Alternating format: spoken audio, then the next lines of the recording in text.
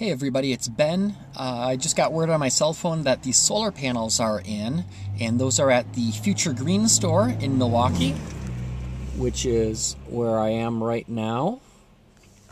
So I'm going to go inside and pick up my solar panels from SWE.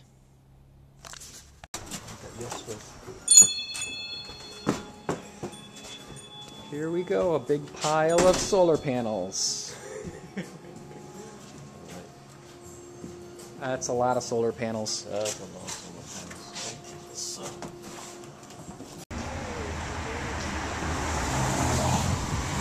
There we go. We've got eight of these 60 watt panels, and now we're going to truck them on home.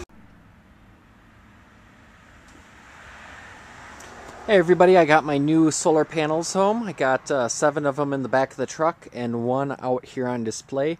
It's a 60 watt amorphous thin film panel, about 3 feet by 3 feet. Uh, it's kind of partly cloudy right now, but I've got a meter hooked up, and this meter right now is reading uh, about 95 volts open circuit on this panel. So this is a high voltage panel.